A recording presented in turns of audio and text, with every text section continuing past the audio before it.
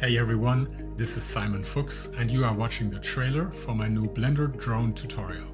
Right now, you are looking at a turnaround animation of the final asset that we will be creating in this course.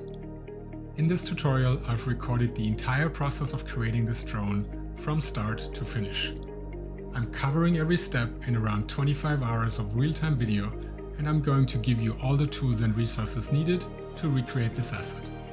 You are completely free to follow each click I make to get the exact same result, or you can challenge yourself and create your own asset as you follow along. If you ever wanted to get into Blender and are looking for a quality tutorial using industry-proven techniques, this is the course for you. We'll start with an introduction to Blender, where I am teaching you the basics of the software in around 4 hours of video. I'm covering everything you need to know to get started with the software and I'm addressing a lot of the common issues for people new to Blender.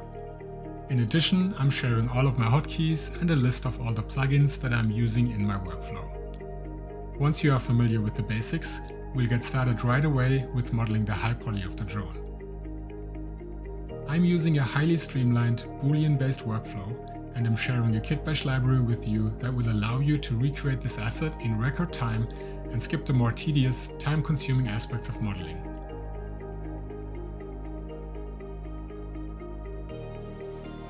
To create the high poly, I'm relying heavily on using the bevel shader in this course.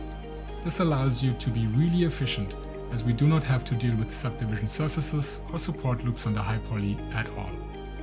Using these advanced techniques, you'll see me create the high poly for this model in less than 5.5 hours of video. After the high poly is done, we'll create the low poly model for this asset. You will learn how to use Blender to generate game-ready, low-poly geometry for the drone. We'll do a deep dive on topology, repeating elements, UV creation and UV layout, and I will teach you all the important concepts you need to know to be able to perfectly bake this model. Once we have created the low poly, I will teach you how to bake your model in Blender. We will set up the model so that it's ready for baking and use Blender's built-in cycles renderer to generate our normal map. In this chapter, I'm teaching you the fundamentals of baking. You will learn how to create a cage and how using one results in a better, less complicated bake and a higher quality texture. I will also teach you how to fix baking errors in order to create the perfect texture for your model. After the bake is done, we will texture the drone in Substance Painter. In around 5 hours of video, I will teach you how to create photorealistic, PBR-based textures for the drone model. We will build every material, starting with a single layer and then adding detail on top, layer by layer. You will learn the latest techniques to create convincing looking plastic, metal and rubber materials from scratch.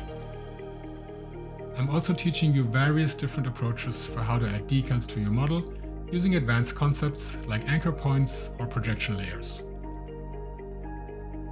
Once our textures have been created, we will export the different maps to use in Blender's built-in Eevee real-time renderer or any other game engine.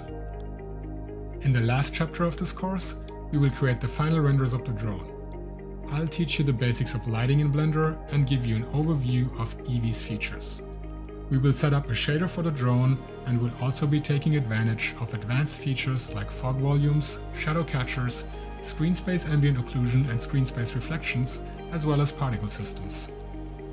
Once we have rendered out our images, we'll bring them into Photoshop, where I will teach you how to color grade and post-process your renders to create amazing images of your drone for your portfolio that are ready to upload on ArtStation or anywhere else.